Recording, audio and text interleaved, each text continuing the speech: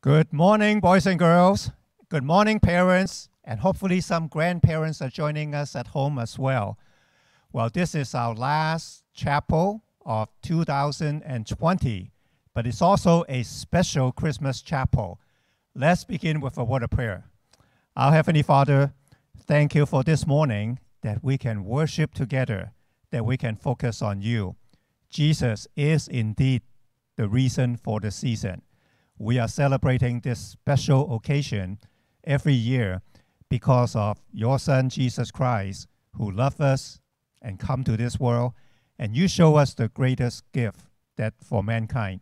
And we ask that uh, you will just bless this service today and lift our heart and spirit as we celebrate together the birthday of our Lord Jesus Christ. In Jesus' name we pray. Amen. Well, so good to have all of you joining us. Our praise team and worship team will lead us in some singing, and then we'll, uh, that will follow by a special number by Mr. Lee, our music teacher. I think that will bless your heart. Thank you, and let's enjoy worship together.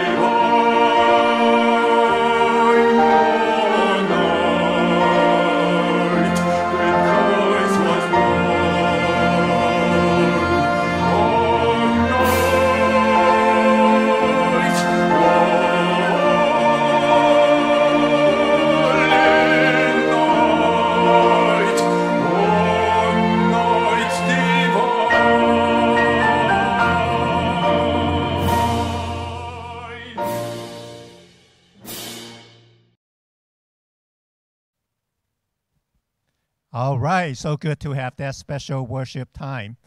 And uh, now we have a special message, Christmas message from Pastor Toby Yuen. Of course, Pastor Toby is no stranger to all of us. He is the youth pastor of our Bay Area Chinese Bible Church. More importantly, he works so closely with many of our students, you know, especially in middle school worship and in our K 8 worship as well.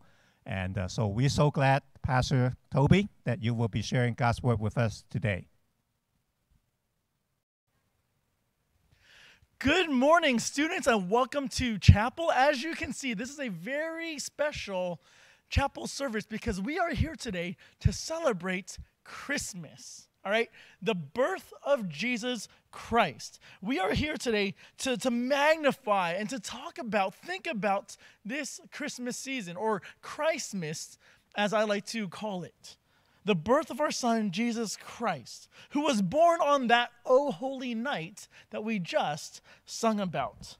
You know, I love the Christmas season. I love getting all cozied up and, and warm. I love, I love snuggling up with blankets. I, I love um, sleeping on nice soft pillows. I love sipping on hot chocolate, eating cinnamon rolls, and getting dressed up in my ninja monkey onesie that you see me wearing right now. I love to be comfy and cozy. I love to be warm. That's what Christmas means to me many times. It's so comforting to be wrapped up in the warmth of our homes, to be surrounded by friends and family and delicious meals and good food.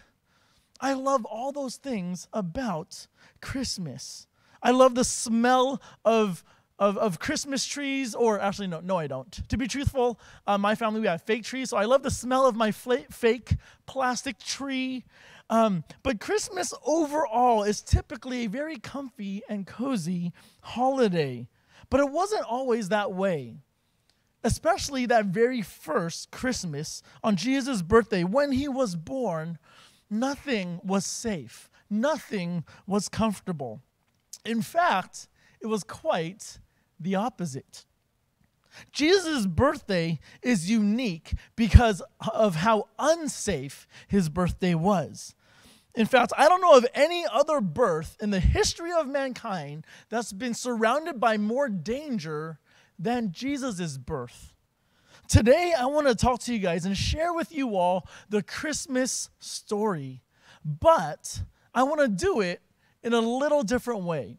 I want to do it from the standpoint of King Herod. I'm going to tell the Christmas story from King Herod's perspective. So let me get into that costume right now.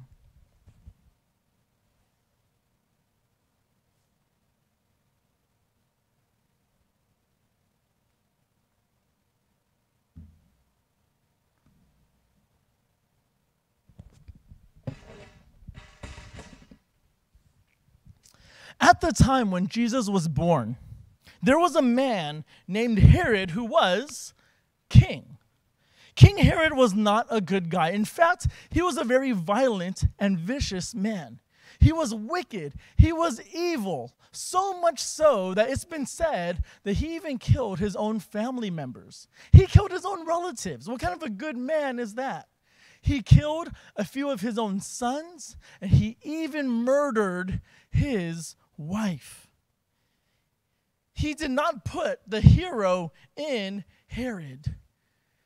King Herod was a dangerous king. So, what did Christmas mean to King Herod? Let's look at Matthew chapter 2, verses 1 to 3. Matthew chapter 2, verses 1 to 3. It says this Now, after Jesus was born, in Bethlehem of Judah uh, of Judea in the days of Herod the king, behold, wise men came from the east to Jerusalem, saying, "Where is he who has been born king of the Jews? For we saw his star when it rose and have come to worship him." When King when Herod the king heard this, he was troubled, and all Jerusalem with him. Let's stop there. Sometime after Jesus was born, I'm guessing within two years of age, the Bible says that wise men came from the east, most likely from this area called Persia.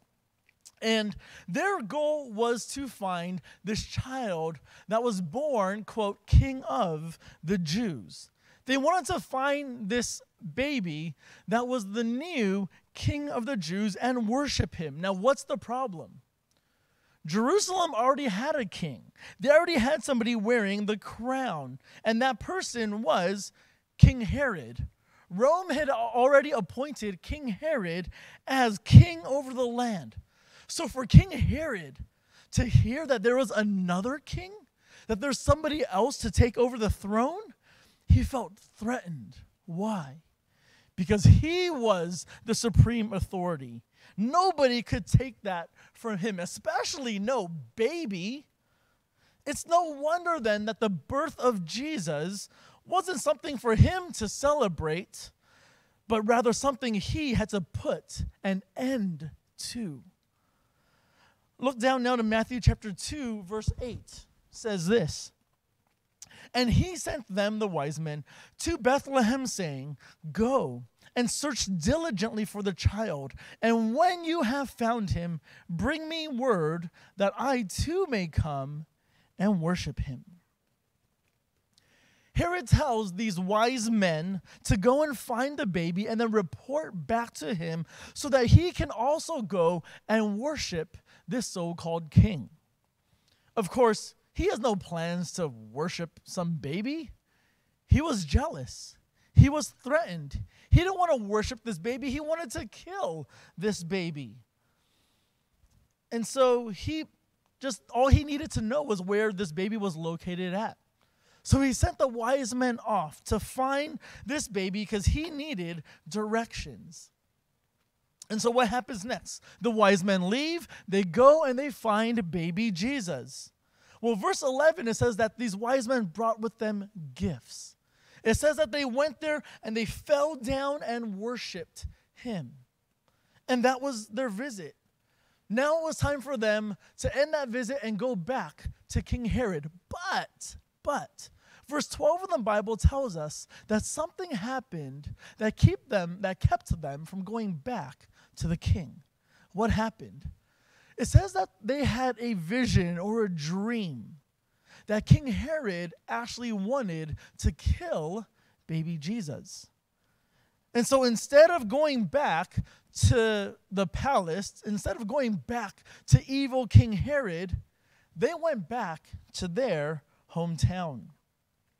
Well, of course, King Herod was very upset. He was mad. He was angry because he was waiting and waiting and waiting for these wise men to come back to him to report to him where Jesus was so that he could kill baby Jesus.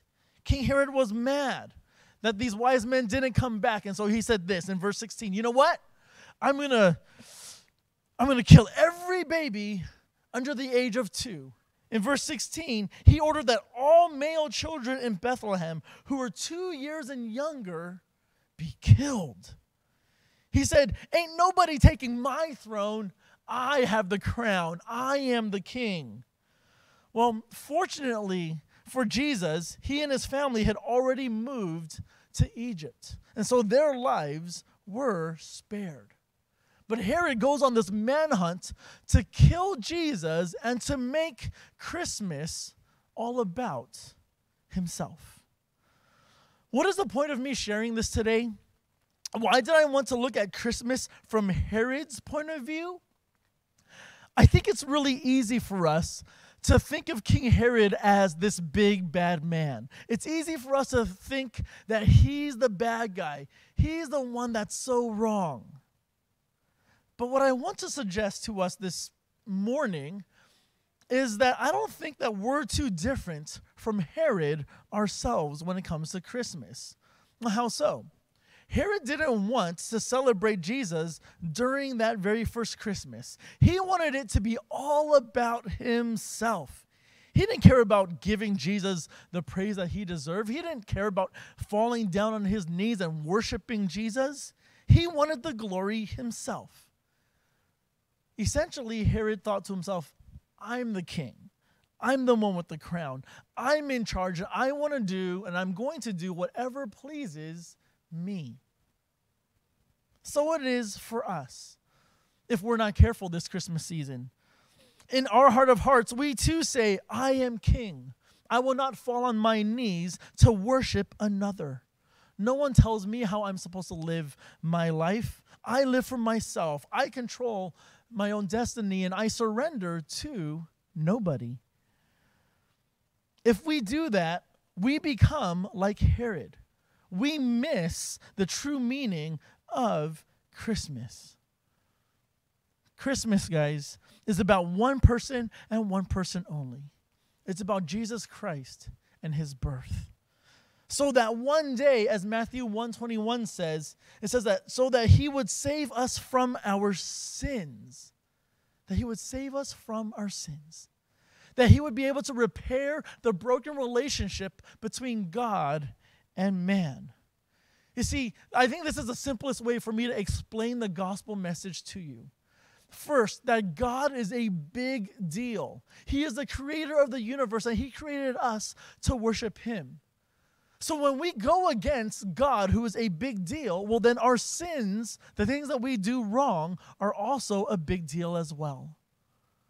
And that creates a big problem. So, how do we fight? Or, not how do we fight? How do we fix that big deal? How do we fix that great chasm? We actually can't do anything in and of ourselves.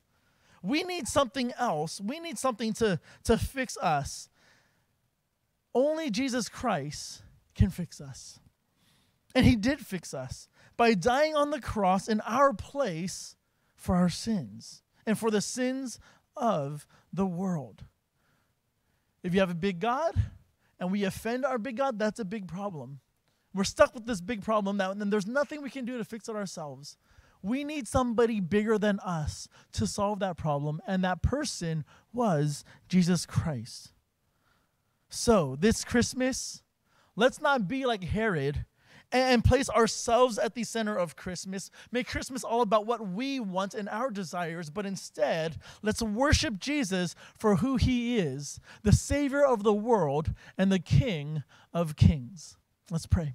Heavenly Father, Lord, thank you so much for, get, for being Almighty God and ruler, sovereign, supreme one.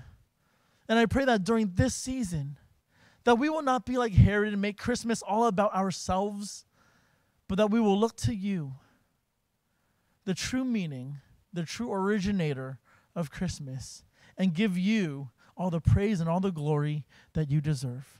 Thank you so much for each and every one of these students that are tuning in with us this morning, whether at home or in their classrooms here.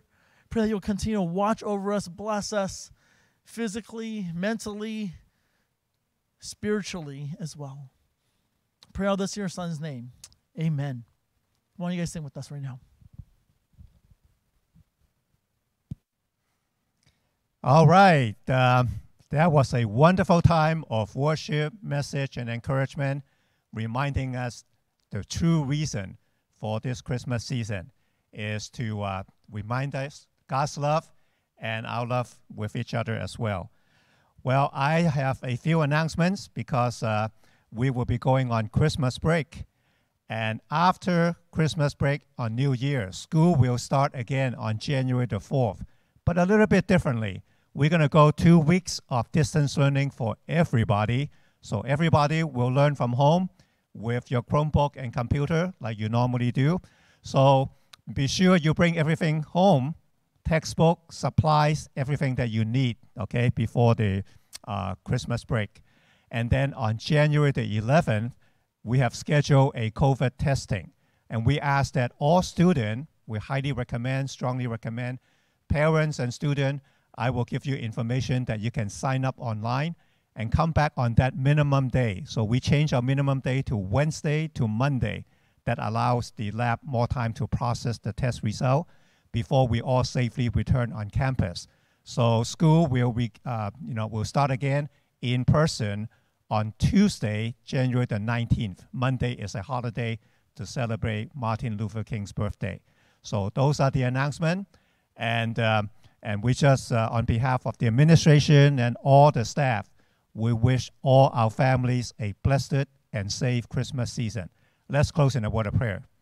Heavenly Father, thank you for the wonderful music and the lyrics And thank you for the wonderful message from Pastor Toby that uh, reminding us that um, you know God's love during this Christmas season, that we understand your love from your word, and it's important to be in God's family and to follow your will. And uh, may you just bless us in this special Christmas season, give us a safe time of celebration, and uh, we pray for a good 2021. Lord, use the vaccine, use therapeutics to uh, keep this COVID under control. That will be all safe and well, that we can regain some sense of normalcy in this uh, next new year. So may you just bless us uh, in the coming days, and uh, for we thank you in Jesus' name. Amen.